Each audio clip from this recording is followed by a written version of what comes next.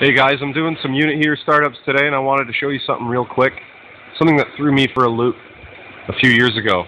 This is a Bryan Donkin gas regulator. We have high pressure coming in,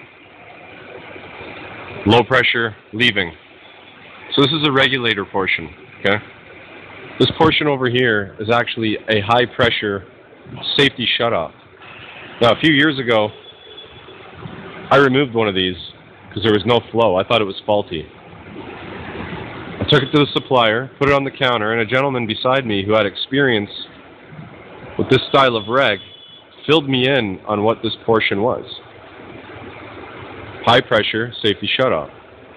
There's a way to reset this, which I didn't know. You take the cap off, you flip it around,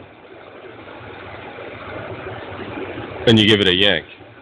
That resets the whole assembly and will allow gas to flow through the regulator.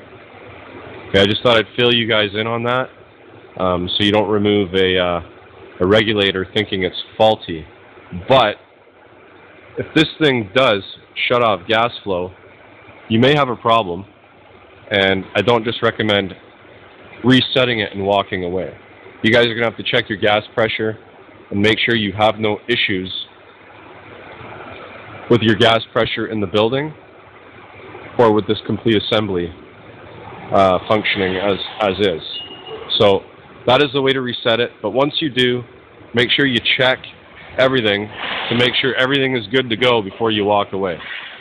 You guys have an awesome day. Happy HVACing.